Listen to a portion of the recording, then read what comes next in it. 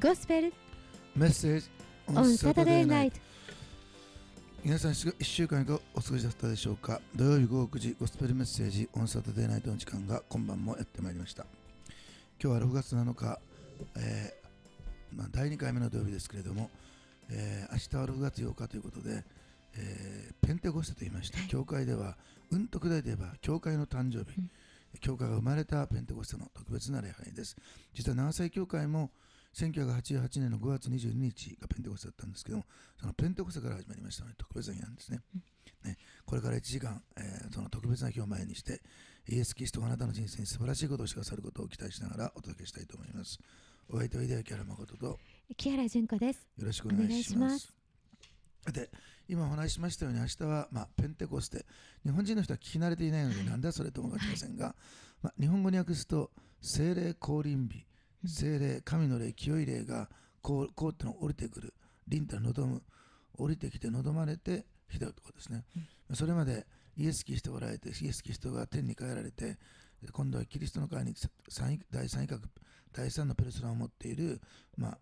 あ、精霊が来られて精霊が初めて人々のうちに望まれて人々を満たしてくださったそれまでもおられたんですけど精霊のうちに人々のうちに住まわれてそこから教会の時代が始まります。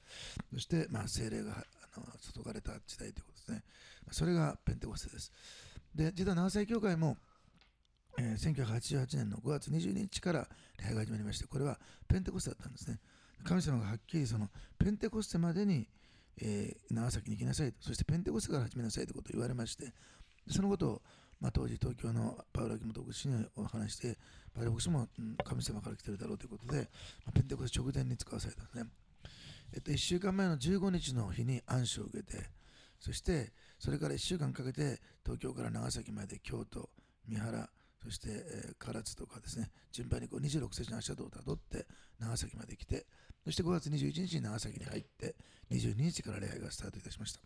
後でまたいろいろ話したいと思いますけども、まあ、そういう、えっと、今日あの新約時代、聖書の新約新約時代、まあ、精霊の時代が始まった、えーまあ、特別な日であります。教会の誕生日であります。そして長崎教会にとっても、まあ、それはスタートした日で、日付というよりも、ペンテコステっていうその日がポイントだったので、そういう意味では特別な日であります。そして、えーですね、まあ、あの、そうなんですね。さて、えっと、お手紙を2通もらっておりますけれども、今日はあ一つは青空さん、先週もいただきましたけども、ありがとうございます。青空さんからですね、その癒しの集会以降に起こっていることがね、まだまだあるということでね、お手紙もらっております。はいえーゴスペルメッセージ、オンサタデーナイトの皆様、こんばんは。こんばんは青空ですと、ブルースカイですね。先日はラジオでアカペラのジーダス・イド・アンサーを聞かせていただきありがとうございました。すいませんもう一遍聞かせましょうか。いや思わずすいませんと言ってしまって あのはい、ねもう、えーミッションファーストビューティーが英語で歌うと、ね、明るく元気になりますので,、はい、で今この曲を山田ゴスペルクラブで練習していますが私は一番低い音のパートを練習しています、はい。ほうそうなんですね。そうなんです。純子牧師みたいに高くて優しい綺麗な声がとても素敵だなといつも思っていますと。ありがとうございます。高い声は優しくて綺麗なんですかね？っていうかあのいやいや青空さん。そのそのあの純子さんの声は私もあのでも純子さん若い時もっとね優しい声だった。だんだんなんかしわがれてきました。仕上がれたわけじゃないんだけど、ちょっとあの私と結婚してですねあの本当は本来癒し系だったんですけど私と結婚してハードな激しい歌とか戦う歌を随分歌わされてちょっと返さないことをいたしました。昔はもっとね本当にこうなんていうか聞くだけで癒されてしまうようなとってもそういう声をしてたんですけども。でそれとは別に高い声っていうのは優しい声なんですかね。高い声っていうのは例えばあの女性でわからないけど男性だとちょっと古い話になりますが松山千春とかですね。あああいう声でしょ。でああいう声は優しいっていうのも澄んだ声って感じでするんですね、ーうん。まあ、あれは男性なんですけど澄んだ声とかね透き通る声って感じでするんですけど、優しいのとはまたちょっと違う感じですけどどうなんですか？いやいろいろやっぱり高くてもこ声質っていうかいろんな声があると思います。純子さんの声は優しいって優しいと思いますけど高いんですか？いや私高く聞こえるんですけど実際高い声出ないんです なるほどね。はい。高くて優しい綺麗な声がとっても素敵だなといつも思っています、ね、ありがとうございます。私は声が低いですけどご指導よろしくお願いします。はいもう意外とあの超強力低音です。低音パートで本当に助かってます、うん。はい。低い声がないとね低い声が実は土台でしょ、うん。だからあのね、まあ、主旋律だったんですけどそのように低い声があるとすごく安定しますので、ねあのよよろしくお願いします、はい。あと声だけじゃなくてえフルートでしたね、はい。フルートもよろしくお願いします。もっと積極的に礼拝でもどんどんねあの賛美の時にやっていただけるといいなと思うんですけども。癒しの集会後はたくさんの変化があって、はい。今日はその第3弾です。先日職場で機械が突然壊れました。うん。まあ、あの確か病院ですよね。それは胃カメラを洗浄する機械なんですが、何の問題もなく作動していたのに、突然動かなくなってしまいました。まあこういうことありますね。うん。しかも夕方の6時前、帰りの準備をしている時です。うん。そしてその洗浄の機械は、本社が福岡しかないしかないので、修理を頼んでもすぐには来てもらえなく、うん。また翌日には朝一番で機械検査の予約が入っていました、うん。みんなでありとあらゆることをしてみたのですが、うん。機械はうんともすんとも言いません。うんうーんって感じですね。と ねうんね。どうしようかね。とみんながちょっと離れた隙にそうだイエス様は病院に行っておいて癒されたというのを思い出して、うん。誰も見てなかったのでこっそり機械に手を置いて祈っていました。おお大胆ですね。ペットに手を置いて祈る人はよく言いますけども、機械に手を置いて祈るとか大胆ですね。でも素晴らしいことです。そしたら突然機械が動き出しました。びっくりしました。さあびっくりでしょうね。他のスタッフも、あら、なんで動き出したと？と聞いてこられたので、なんかネジが緩んでたみたいですよと言いましたが、この中ではまさに Jesus is the あ answer ね。でした。まあね、祈ったのって言ったらいいですね。うん。まあちょっと勇気あるでしょうけどね。ねあのそのうち祈ったのってね、うん。イエス様は機械も直すのよなんて言えたらね、うん。いいなと思いますけどね。もすごいですね。ね、癒しの賜物だったりしてですうん。ね,、ね本当に神様はいつも共にいてくれるんだということを実感しました。そうですね。あの前も言いましたけど、癒しの集会で、その人がすごいんじゃなくて、うちに住んでおられる精霊、イエス様が手を置いたら癒されるし、うん精霊が働かれたら癒されるので、うん誰であっても手を置いて、本当に主に期待して、信仰を働かせて祈ると働くんですね。うんですごいですね。あのーペットはよく聞くんですけどね、あのー機械まで癒されたというね、うんあのー素晴らしい機会ですね神。様は本当に祈りに応えてくださるはいですね。癒しの集会以来、動機、息切れはなくなったのですが、まだ体力がついていかず、体調は不安定な日々ですと。うんはい、でこれもね、祈りましょう。先日はお腹を壊してしまって、仕事を一日休んでしまったんですが、妹がポカリスエットやデリーなど買ってきてくれました。へえ、よかったですね。そして一日中、教会であったこと、聖書のこと、病気のこと、そして二人にしかわからない小さかった頃の面白かった話をして、久しぶりにお腹の底から大笑いしました。はいはい、あの妹さんはね、とっても明るいので、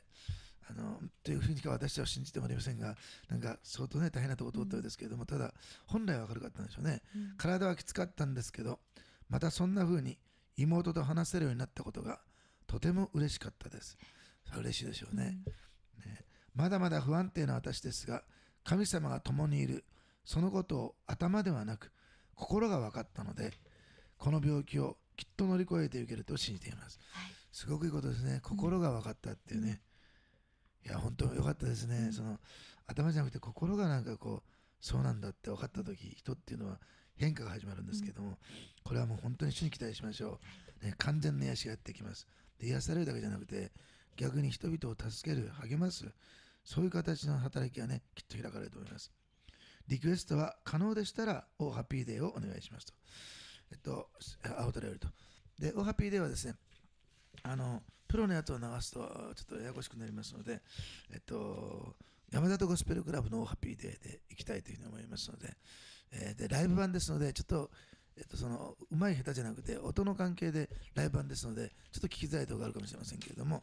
えー、オーハッピーデーを聞いていただきたいというふうにあの思います。えーいつの時なんですかね？2012クリスマスコンサートそうですねあのいつの？チトセピア2012年の ?2012 年、2年前、2年前のクリスマスの時の、えー、オーハッピーデーです。えーゆかえー青空さんはまだいなかったかな？もうおられたかな？なんかその頃から来てくださったとその頃からですよね。はい。はい、はい、それでは、はいえー聞いていただきたいというふうに思います。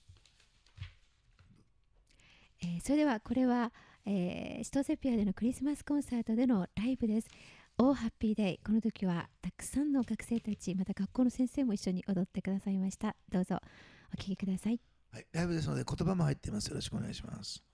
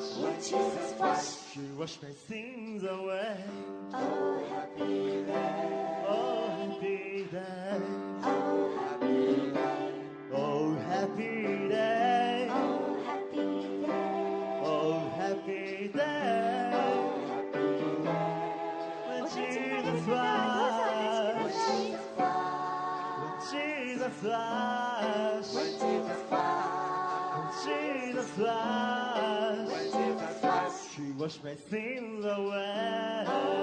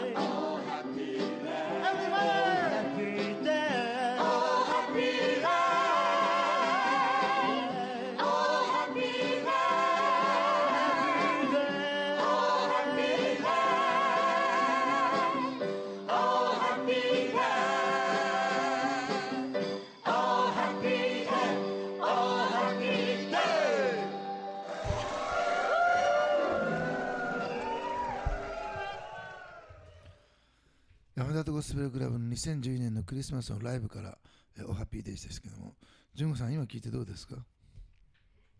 なんか今よりだいぶ若々しかったと思いました。はい、はい、あそうですか。ははいい、はい。あのなんかすごく音だけ聞いてると明るくてとってもいいですね。実際あの時すごく盛り上がったですよね。はい、実際もすごくあの会場の皆さんが降りてあのステージの方に来てくださって一緒にこの時は、はい。年明く物語という、はい、あのなんですっけ、えーミュージカルをミュージカル風の、はい、えーやつをやったんですよね。はいですごくそれがしあのとても祝福されてやはい、ったんですね。はい。さて。それでは、えっとですね、もう一つ、もう一人お手紙をいただいています。これもですね、青空さんの、ね、えー書いてオータムさんからですね、えーオータムさんからもらっております、えーゴスペルメッセージオンサタデーナイトの皆さんこんばんは今日も元気はつらつオータムですとな んかあの見えてきそうですね、はい毎週お手紙読んでいただいてありがとうございます。こちらも毎週お手紙本当にありがとうございます。ね、えっ、と、オータムさん、青空さんありがとうございます。それから、あの、最近もらっておりませんが、静寂さんお待ちしておりますので、あと、ヒデさんは毎週徹夜祈祷会に来てくださってありがとうございます。どうぞ、えーその時でもいいですので、ぜひね、書いてなんかもらえれば嬉しいかなと、リクエストも遠慮なくおっしゃってあげればと思います。ちなみにヒデさんはですね、昨日徹夜祈祷会に来てですね、その後、えーインターネットインカムで出た時にですね、ある方が iPad を貸してあげましてですね、こう教えたらですね、初めて使ったそうなんですけど、ハマってしまいましたとか言ってですね、あの、純子さんのお母さんもね、はい。岐阜で最初はもう絶対ミンとか言ってたのに、今はもうハマって、私のメタボ日記は毎日チェックしてくださっているということで、はい。それを聞いてとにかく毎日最低1個、できれば10個を目標に今、ね、あの上げようとしておりますけれども、えーあれハマるんですよね、うん。あれで情報がいっぱい入りますので、うん。ぜひインターネットでね、見てほしいと思います。はい。はい。えー大玉さんからですね、先週とその前の手紙で、精神科の薬が減ったことを報告させていただきましたが、先日、大阪にいた時通っていたクリニックに電話をしましたと。ね、大阪にいた時の、ね電話クリニックですね、9年ぐらいですかね、えー担当だった先生につないでいただき、15分ほど話をしましたが、ほんまに大玉さん、えー、ほんまにと何度も何度もびっくりされました。なんかわかる気がしますね。本当に全く変わった、いい意味で変わったんですね。私はもうすっかり元気ですと言うと先生が、大玉さんの病気は正直治る見込みなかったから、僕は大玉さんをどう励ましてよいかわからなくなった時期があってん、9年間本当によくがよく頑張ったね。治療ししたしっかりすれば、あともう、あともう一踏ん張りやでと泣いていたので、つい私ももらい泣き。だけど嬉しくて希望に満ち溢れた涙を流したのは何年ぶりだろうと思うことでしたと。うん先生も本当にその、何とかしてあげたけど何ともできなくて途方に暮れていた。その人からこんな元気な声を聞けて、まあ嬉しかったと思いますね。いいお医者さんですね。うん。あの本当にお医者さんですね。すごいですね。泣いてくださるお医者さんってめったにないですね。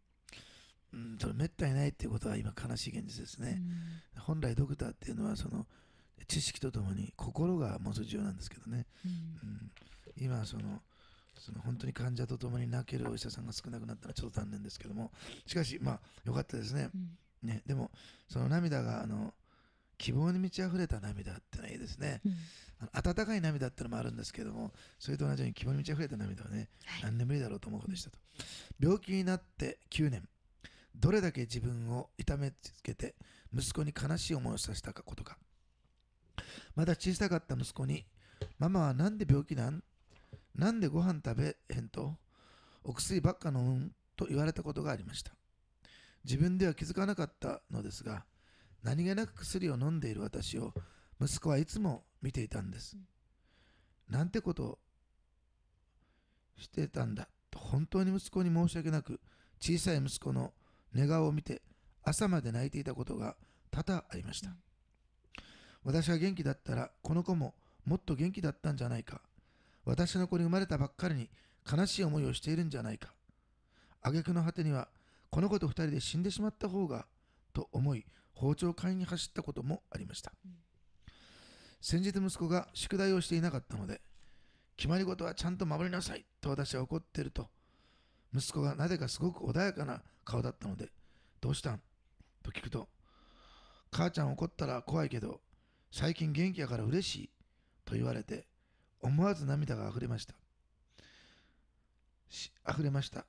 心配性の息子なのでトイレで声を殺して泣きました。息子はこんなに私を大事に思い続けてくれていたのに私は自分が辛いからという理由をつけてこの子を殺そうとしたかしたかと思うと今でも胸が痛いです。最近少しずつ反抗期に入ってきた息子ですが本当に愛しいってこういう気持ちなんだと息子に教えてもらいました。息子は私より聖書を読むようになりました。正直こんな辞書みたいな本読めるかなと思っていましたが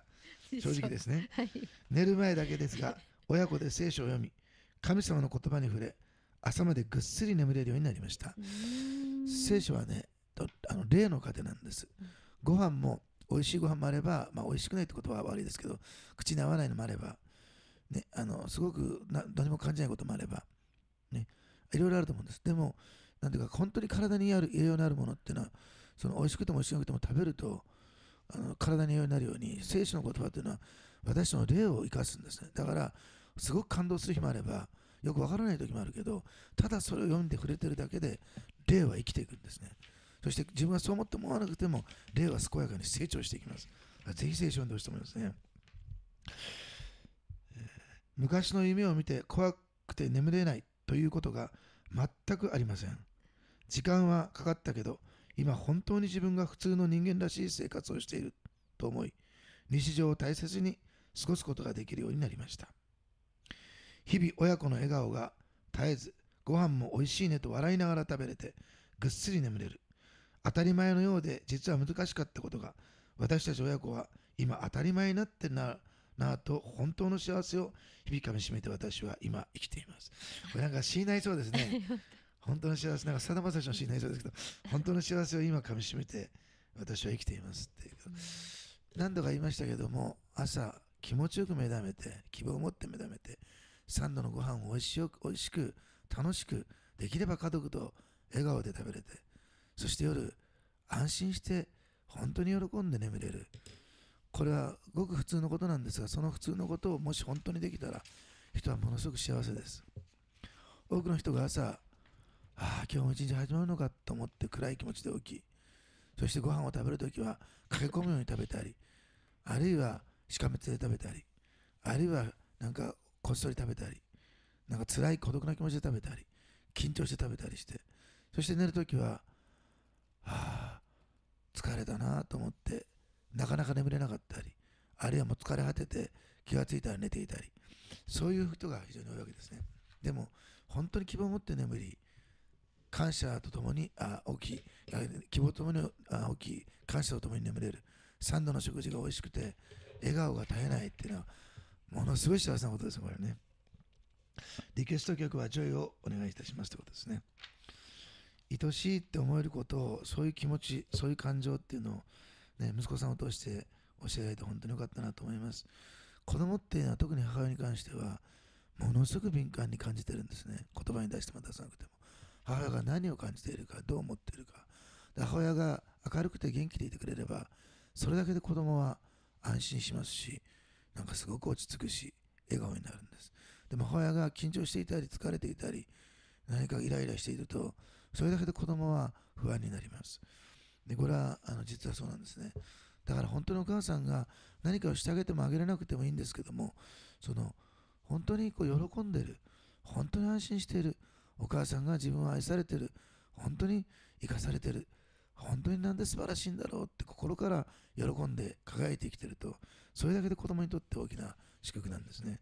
ぜひねそれをね知っててほしいと思います。あの、まあ、お母さんはねそう思っててもそうできなかったんだけど今本当にお母さんが、あのそういうふうになれて面白いですね。宿題をしなかったので決まり事はちゃんと守りなさいってね。まあ、お母さん昔してたのかどうか知りませんが 言ったわけですね。ね、ところがその怒られながらね、怒ったら怖いけど、最近元気やから嬉しいってね、怒る顔を見ながら、その、本当のお母さん元気になったなって、怒られるのは良くないけど、嬉しいなと思えるっていうのは、いい意味で子供さんに心の余裕ができてきたってことですね。本当にその、そういう余裕ができたってことは素晴らしいことですね。えー本当に良かったなと思います。でイエス・キリストに感謝をして、これからもしっかりとこのキリストと共にね、教会につながって歩んでほしいと思います。そして息子さんと一緒に神様が用意してくださっている祝福をたくさん受けてね、今までの悲しみを喜びに変えていただきたい、もらいたいてほしいなというふうに思います。えーリクエストはですね、リクエスト曲はジョイをお願いします。ハッピーなオータムでした。はい。それではジョイもですね、これも山里ゴスペルクラブですかね。今日は。そうです。はい。これも山里ゴスペルクラブで聴いていただきたいと思います。はい、次に聴いていただく曲です。えー、ジョイ作詞作曲藤野翔子さんです。どうぞお聴きください。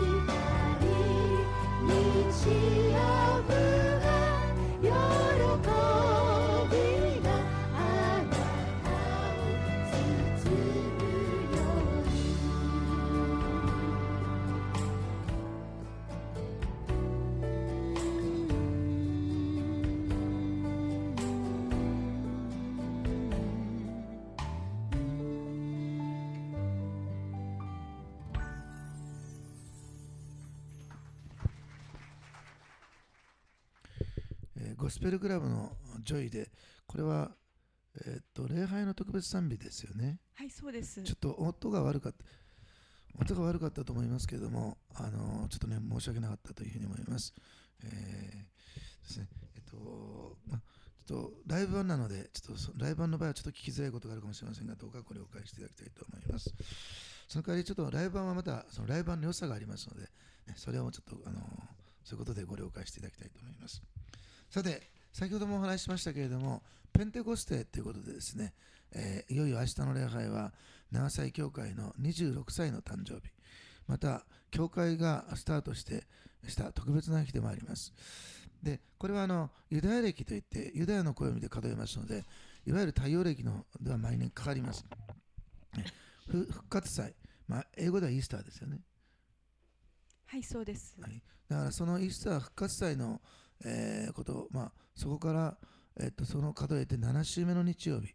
今年は4月20日がイースター復活祭でしたので、だからその7週目の日曜日の、えー日が、まあえーえーこのペンテコステになるんですけども、明日がそうなわけですね。で、まあ、弟子たちが集まっていたところに精霊が望んで、そこから教会がスタートした、そして精霊時代が始まった。で広い意味での週末、えー最後の終わりの時代が始まったと言われている、まあ、そういうことであります。で、まあ、長崎教会のことちょっと話しますと、88年、今から26年前、えーの5月15日のペンテコステの1週間前の日曜日に、私たちは東京で安心を受けまして、夫婦で。そして、まあ、あの臨月だった妻と共に、えー新幹線に乗って京都に行き、京都で、まず最初に26歳人のもあの戻り橋のところを渡って、そしてそこから三原に行き、三原で一泊して、唐津に行き、山本村でお祈りをして、ずっとこうね、えーこの帰りの足跡をたどって、他京とかですね、嬉野とか通りながら、まあ、西高まで来て、で、西高に来て、えー21日の日に、えー長崎に入って、えーまあ、家に入ったわけですよね。はい。これは21日の日で、不動産屋さんに来たらですね、鍵をもらおうと思って来たらですね、不動産屋さんがなんとですね、二日酔いで倒れ伏していたと。ね、こ れでなんか鍵がもらえなかったのかな。はいあそれで、まあ仕方がないから鍵屋さんを呼んで、やったらその鍵が、鍵屋さんが開けれなくて、結局鍵を壊して新しい鍵にしたということがあったんですね。まあ、それで私たちはその頃は若かったこともあって、不満どころかですね、うわ、古い鍵を壊して新しい鍵になるとね、これはリバイバルの鍵だとか言ってですね、なんかすごく何があってもこう前向きに考えれるま希望を持ってたわけですね。そして新しい鍵になって、やっと家に入れたと。ね、またその家がちょっとすごくてですね、えいろんな虫が出てきたりして、それを無視しながら最初は戦ったんですけども、そこで5月22日の朝、まず礼拝をして、あ西高に行って礼拝をして、で22日今日今日、えー戻ってきて朝の9時にそのお家で礼拝をして、そこから教会がスタートしたんですね。明日は確か、えっと、5時半だっけなぐらいに西高で礼拝をしようと決めてたんですよね、確かね。そうですよね。ところが、朝起きたら5時22分でですね、東京を見たら、もう西高までさ、目台町というところなんですけども、もうとてもそんな8分で行ける距離じゃないので、しまったと思ってですね、まあ慌ててですね、一番最初から寝坊だと思ってですね、まあ別に5時半にしなきゃいけないってことはないですけど、一応神様に聞いて決めてたんで、ああと思って、あ慌てて着替えてですね、そして飛び出そう、もっぺん家を飛び出そうとして、もっぺん東京を見たら、まだ5時22分なんですね。あれと思ってよく見たら、それは5月22日だった。ね、あのそういうことだったんですね。それで、それでまあ落ち着いてですね、まだずいぶん早かったんですよね。4時台だったかな。うんなかなり早かったので、そこで夫婦で祈って聖書を読んで、そして西高まで行って、西高で初めての礼拝をしました。その日はちょっと小雨パラつく天気でね、最初はやってたんですけど、純子さんが一人で聞いてくださったんですけど、そのうち雨もパラついてきたので、隅の方に行かれまして、私は一人であのやったんですけれども、そしてそれが終わってから戻ってきて9時に、そのお家目台町のお家で礼拝をして、最初はそのお家でずっと礼拝をしていまして、そして、えっと、9月に、えー一番最初の街道になった場所、平野町に帰りまして、そこから始まったんですね。で、そこから始まって、えーまあ、11月3日に開所式をして、そこから2番目の街道、3番目の街道、そして今4番目の街道に移っているわけであります。で、26年、本当に神様は守り導いてくださったなというふうに思っています。で、リバイバルが起こるっていうビジョンと夢を持ってきて、確かに神様がそこに向かって導いてくださったことを覚えますけど、純子さん、どうですかね、26年振り返って、何か心に残る思い出とか、あるいは、まあ、一番最初の時のことでもいいですし、ペンテコステのこのこの頃になって思い出すことがあれば。いや本当に神様は真実だったなってあの26年間あの私たちの頭の展開とは全く別にあの九州に福岡や熊本にも行かせてくださってたくさんの人が長崎を訪れて長崎の教会に来てくださってあのいろんな人が救われていろんな人が使わされてあのそう日々いろんなドラマを今青空さんやオタムさん来てくださっていますけど本当にたくさんの人が来てくださってあの一緒に礼拝できてしかもあの西坂は西坂で最初礼拝をしたんですけどあそこはあの26聖人が本当にあの十字架上で賛美をして天国が来た場所。で私たちはの礼拝はあの原爆が落ちた真下だったですね、で本当原爆って長崎では一番の悲しみ。あの世界中で神様が本当に団長の思いを持ってなんか広島と長崎原爆を落としたのは神様じゃなくて私たちの罪なんですけどそれをあえて許された町。でもこの悲しみが喜びに変わる日が来るっていうかずっと原爆の落ちたこの地点で私たちが礼拝をさせてくださったっていうかでそこにたくさんの人が訪れてたくさんの人が使わされていった。なんかあの神様のドラマででもこれははまだ始まりに過ぎないでこれからこれから本番が始まるような気がしています。はいえー私はあのすぐにもリバイバルが起こると思って燃えていたんですけども、もう大変神のプログラムと結構違ったんですね。でも、その中で、なんかいよいよ本番が始まるかなっていうことを思っています。まあ、九州中に、そして日本中に、また今、たくさん東京にも牧師がが行きましたけども、あと、あカンボジアとか、いろんな国々に長崎を通過して使わされていった牧師や宣教師がいます。そしていろんな教会で今働き人となっている人たちもいます。その中で神様は、もう一度この長崎の地で、神の特別な計画を開こうとしているというふうに、私にはすごく思っております。で、神様の計画がいよいよこれから具体的に本格的に始まってくるということを強く思っています。ぜひですね、皆さんですね、あの長崎のある方ね、教会に行って一緒にイエス・キリストを信じて、誰かのためではなくて、このキリストのために人生を捧げて、一緒にその神様のこの終わりの時代、愛が冷めていく時代、そして本当に混乱な時代、厳しい時代になっていく時代に、神様の愛と神の命を持って、その中を輝きながら、一人でも多くの人をキリストに神が捉えてくださるために、人生を生きたいと思います。で、爆発的な救いがですね、まあ、迫害も起こってくるでしょうけど、これからこの長崎の地で、日本中で世界で始まってくるということね、覚えてほしいと思います。その火を受けて、そのなんかこのワイン時のリバイバルの火を受けて、発火点になるのが長崎ではないかと、私はまあ個人的にはそう信じております。ぜひ皆さんですね、あのその働きに共に預かって、共にその飯を感じる方は来てほしいなと強く願います。はい、それでは、そのリバイバルというなんか題がついている歌が、えーありますので、えーそのリバイバルという題がついている賛美を聞いていただきたいと思います。はい、えー作詞作曲作詞谷口素子さん作曲茅野美代子さんでリバイバル。どうぞお聴きください。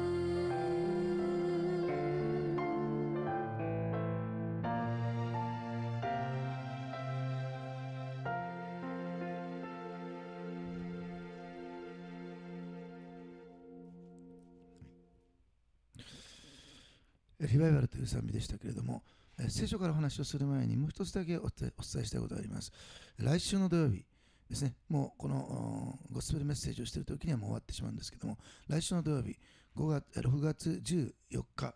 6月14日の午後3時から、えー父の日イブコンサートというのがあります。別にこれは父の日の前の日だから父の日イブコンサートということで、まあ、お父さんがいる人もいない人も、お父さんが大好きな人も大嫌いな人も、それからお父さん関係ない人も、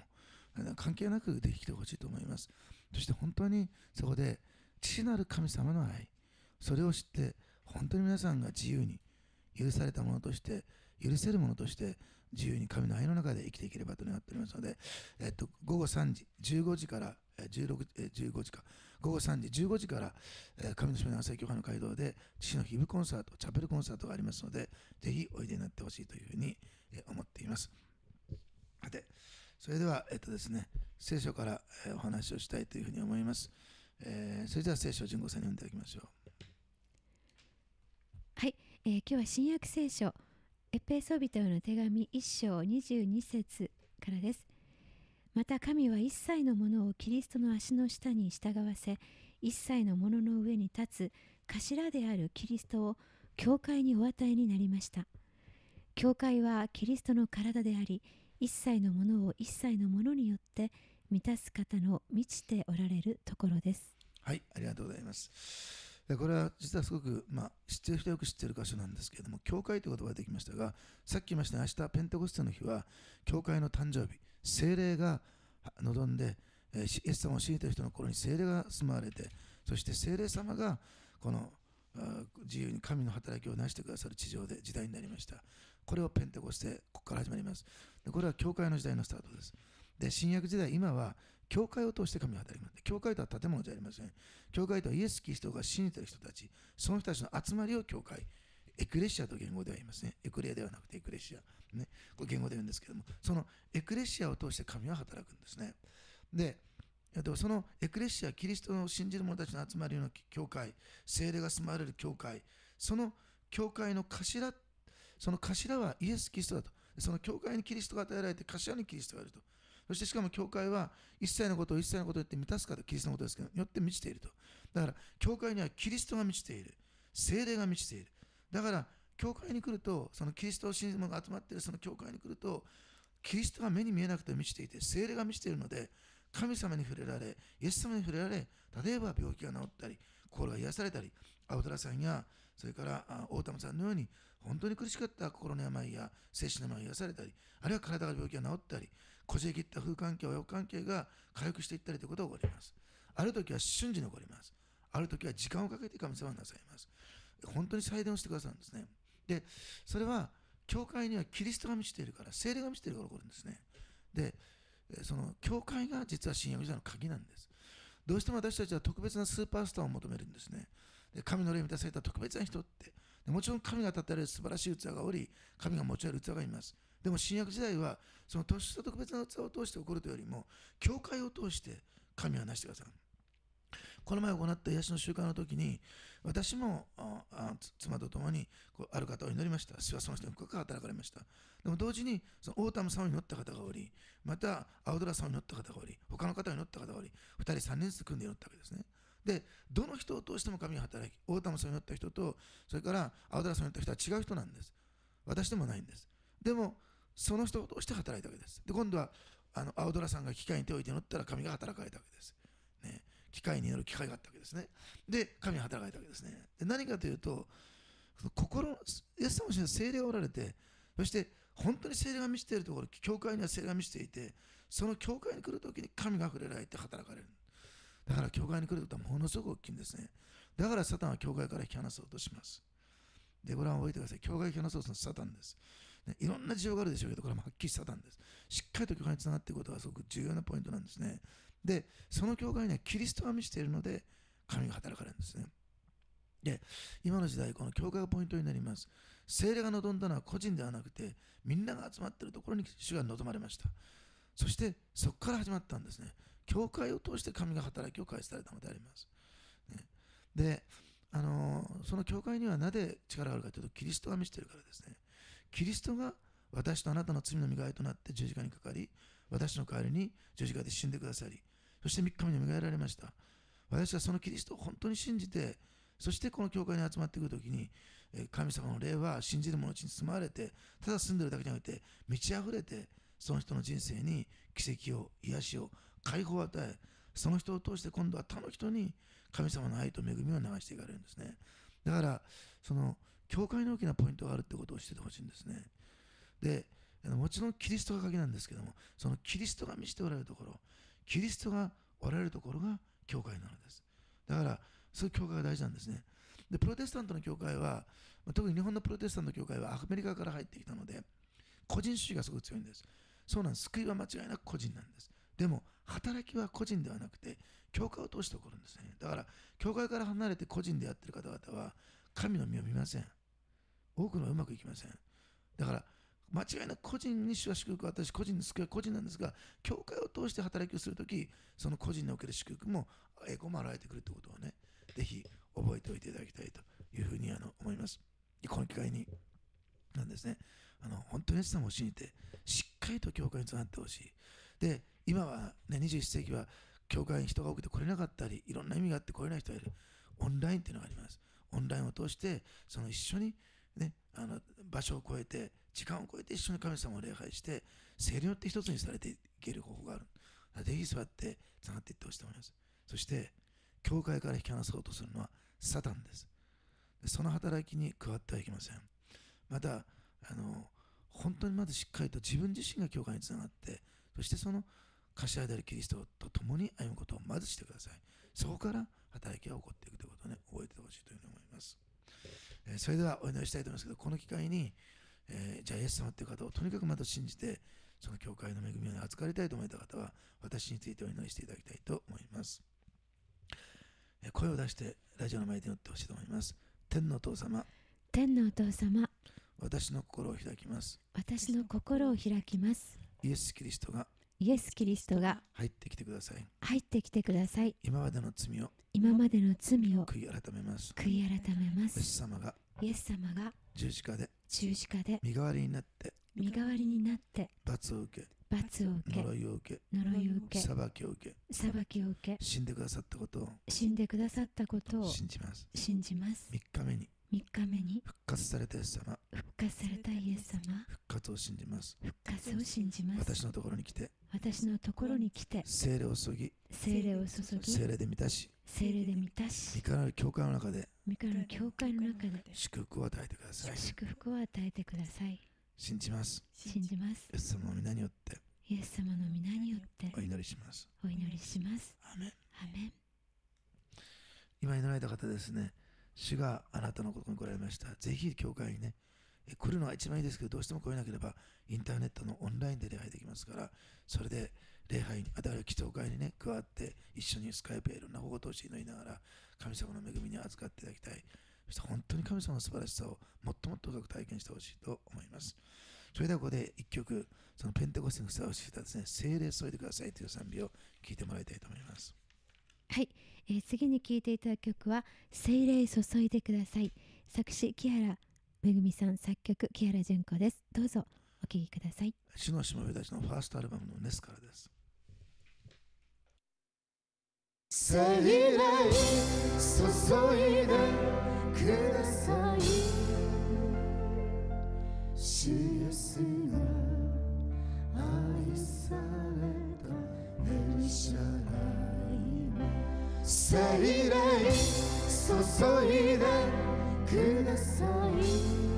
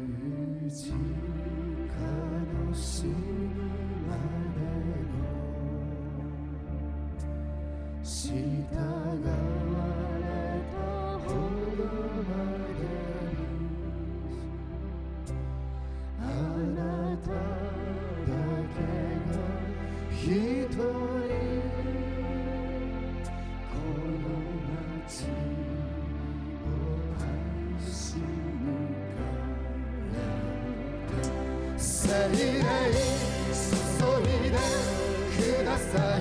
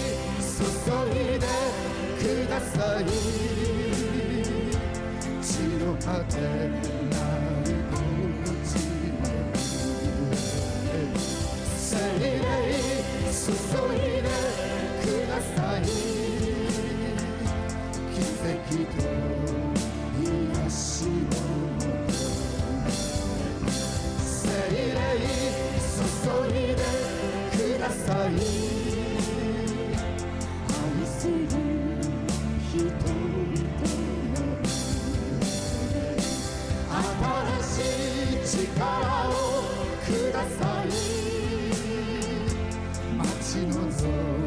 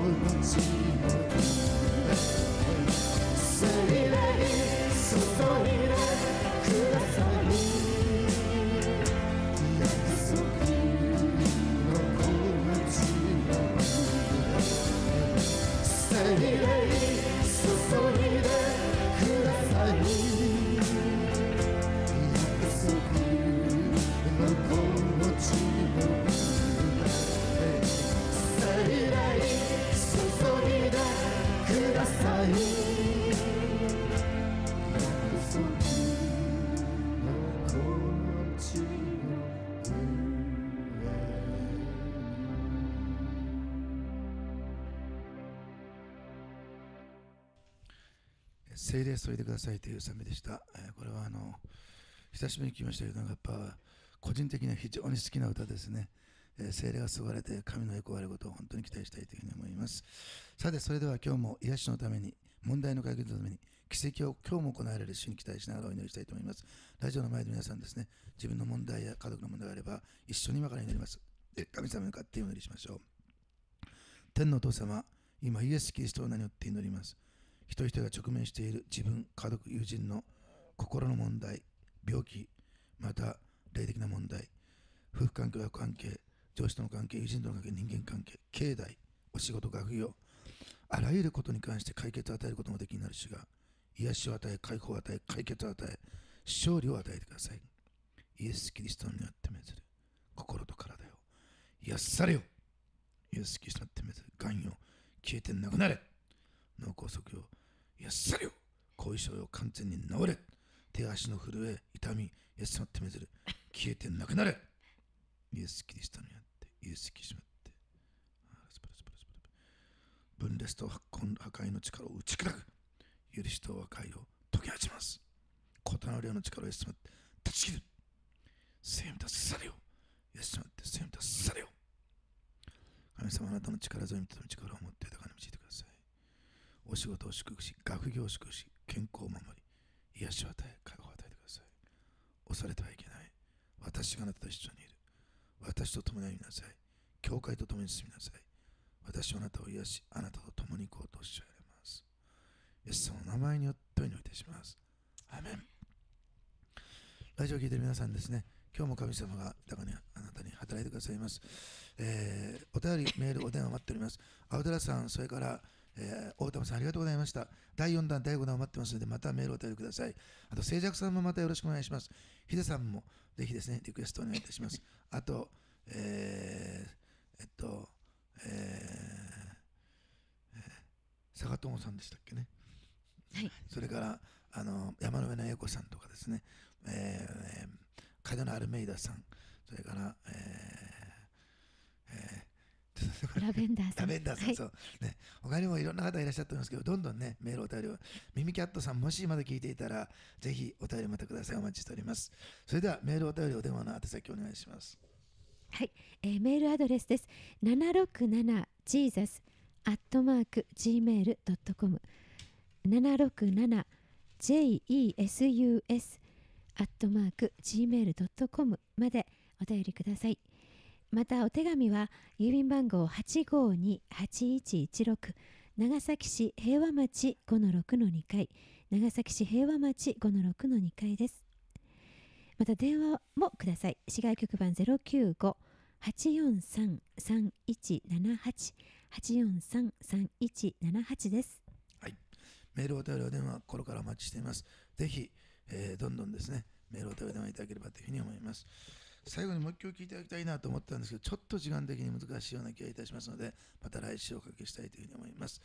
それでは、えっとですね、えー来週の明日の礼拝内、そして来週のご案内ですけども、先に来週5月14日、6月14日土曜日午後3時から、えー父の日イブコンサートがあります。そして5月21日、その次の土曜日、午後6時半から18時半から癒しの集会がありますので、ぜひ皆さん期待して、あの教会の方に来ていただければと思います。それでは明日の礼拝の案内をお願いいたします。はい、明日6月8日、えーペンテコステ、えー聖霊が神様の清い神様の霊が豊かに望んだ記念の日です、えー早朝礼拝は5時半から。第一礼拝は7時半から。第二礼拝は10時からです。この10時の礼拝がメインのサメメインサービスメインの礼拝となっています。小さなお子様お連れの方もまた、えー外国人の方もぜひいらっしゃってください。英語での